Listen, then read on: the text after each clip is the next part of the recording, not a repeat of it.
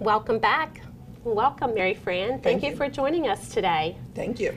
Why don't we start out with you giving us a little bit of background about how you got into family law and where you started and how you got to where you are now? Okay, well, I'm originally from New Jersey, Yes. where it's very cold and snows. and so I graduated from Rutgers and knew that I wanted to move to the Beaufort area. I'd been coming here since I was a child. I knew this is where I wanted to be. So I went to the University of South Carolina for law school. But first, I joined the Marine Corps. Oh. And so then I went to the University of South Carolina for law school. And after I graduated from the University of South Carolina, I went to training for the Marine Corps, the basic school, Naval Justice School, and then I was stationed at Parris Island, which is, for anybody who's not from here, right across from Beaufort, within Beaufort. So, and when I was on active duty, I did about two years of defense work and about two years of legal assistance, which is basically family law. Mm-hmm. And that's when I learned that I really, really understand and like doing family law. Okay, great. Well, we're glad that we're glad that you do that, and we love working with you. Wonderful. That's We great. do. Yes. yes. so I think we're going to circle back to a question that was asked a little bit ago that we wanted to ask directly to you.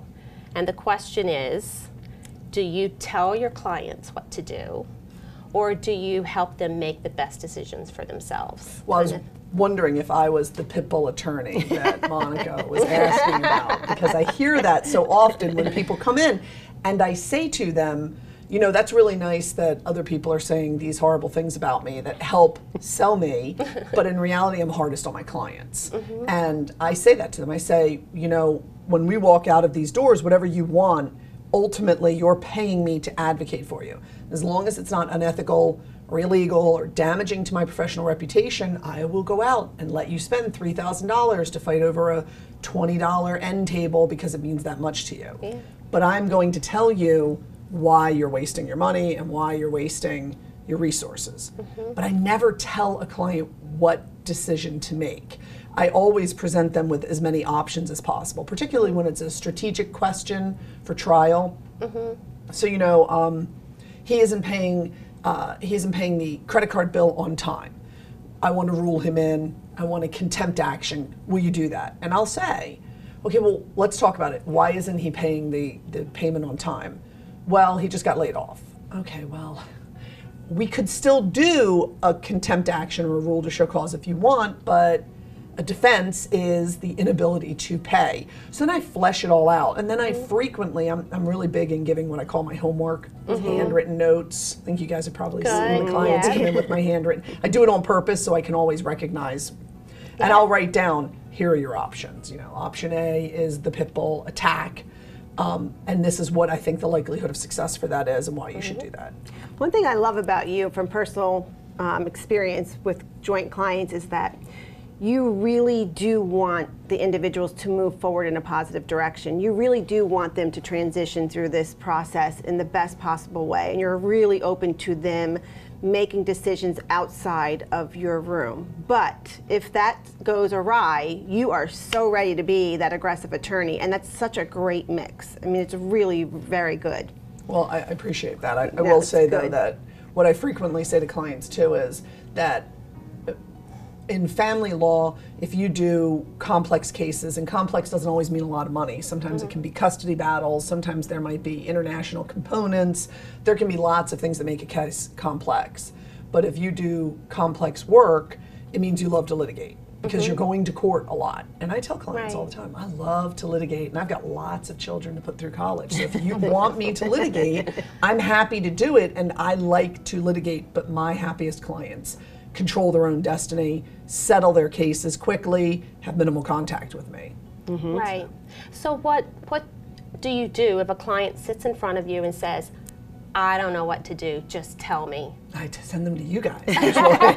um, you know, it, it, it depends on the it depends on what it is they're confused about. Obviously, I don't send people to you if their question is, should I take, should I separate the twins? Right. Right. Um, but if I send them to therapists, and everyone gets a list of therapists that I've worked with, and I say just because you might have a therapist that's not on this list that I don't even know about, tell me if you have a good experience with someone.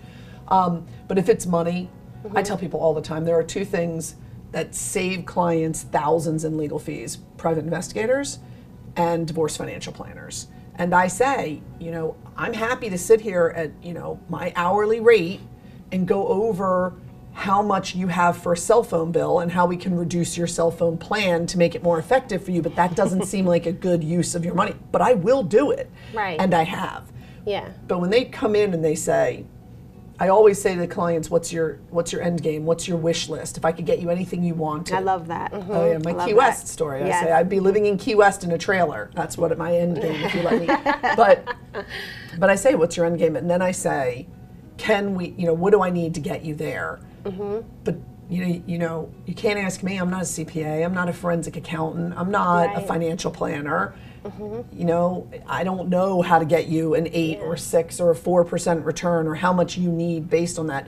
If you can bring to me a plan that's been put in place with a clean financial declaration and preferably a marital asset addendum that shows how we're getting there, then it's my job to then take that and go and see. And sometimes they'll come and I'll say, I can't do this. You know, I he'll never agree to give you all the cash, or she's never going to let you keep the marital home. But then we can move things. But I love that Right. approach, and it really gives the client the real uh, uh, feeling that you are looking at everything in her best interest and you are looking to save them time and money and stress by using other professionals to help with the whole team and the whole process. It really is so much better for anyone going through this process. Yeah. when I do consults, I say to them all the time that in my years of experience, I, I try to be holistic because I only do family law. Mm-hmm. And I'm all about, I say, I know what I don't know, and I know what you don't need to pay me to do. Mm-hmm. That's, You that's know? great. Yeah. Mm-hmm. And if they, sometimes people don't make decisions thinking, well, we can work this out, so I'm not going to go get these experts because I'm already paying so much to the attorney. And sometimes we'll get into the case period of time and I'll say, I'm not saying I told you so, but what I'm saying is now I have to have someone who can give me this information. you know? Yeah. We, we tell our clients that as well. You know, so many cli- or people think when they're going through a divorce, the first call is to their attorney. But if they do some homework ahead of time, Mm-hmm. it, it, it gets them so much farther down the road and more quickly. And that actually goes to my next question. What can a client do in preparation for working with you so that they can be most prepared? I do a very, very detailed initial consult. It's just my style. Every attorney has a different style. My style isn't the most um, lucrative for me, but allows me to make informed decisions and allow them to make informed decisions. And, mm-hmm. and part of that, I'll say, what you talked about with style, is I say I always give people the names of other attorneys that I think might be a good fit for them. And they're mm-hmm. usually people that I practice with that I like, that I respect. And I genuinely gauge the person and say, you know, so if you leave here and you say, that crazy redhead was fast talking and, it, you know, I didn't understand half the stuff she said and she made my head hurt and my dad hated her, go see someone else because a lot of it's about style. We'll all ultimately come to the same thing. But one of the other things I say to them is, before they come in, the person who takes their call says, bring five years worth of tax returns. Um, you know, again, it depends. If it's an emergency protective order or a complex custody matter, it might be different, but I always need five years worth of tax returns. Get me any kind of um, documents that you have related to retirement accounts. Show us what you own and what you don't own. Complete this financial declaration. Okay. And a lot of times, I also have clients come in 30 minutes beforehand, and I intentionally ask them to fill out the paperwork while they're sitting there mm-hmm. because it gets your head in the game. Because mm-hmm. so many people do come in crying and upset Right. and worked up, and they and they want to spend the first hour getting therapy. And I say, I'm a great therapist, but I am not really licensed to do it. Yeah. Right. And so if you can stay focused, if you've met with a financial planner ahead of time, if you've met with, you know, and it, some people can't afford a divorce financial planner, but do you have someone in your family who's good with numbers? Can your brother-in-law sit down and, you know, when people come and say, I don't know what I need and I don't know what I have, it's very expensive. I'm happy to help them. But Yeah. subpoenas are not the least expensive way to get your information. Right, mm-hmm. absolutely. So, can you go over with us what exactly is complex litigation? In my opinion, because we don't have a family law specialty in this state, which would define something like that, complex litigation is anything that I think is very likely to end up a trial.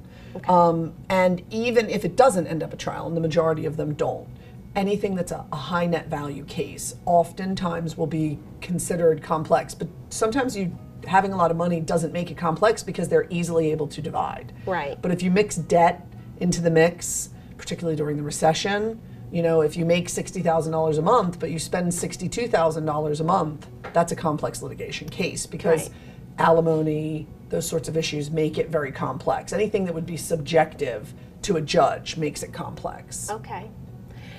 So, how many cases, just to be curious, Yeah. how many cases do you think actually go to lit- to court to litigation, percentage wise? Well, I think that it depends on the attorneys. Honestly, different lawyers have different ways they manage. You know, not everyone does only family law. That might be just be a small portion of their practice. For me, I say I would say that at least eight, 15% of my cases get to up to the brink of trial. And I'd say probably about 10% of my cases go to an actual That's trial. That's what I was thinking. okay. Mm-hmm. Well, thank you so ma'am. much for being here. We so enjoy working with you. Yes, we do.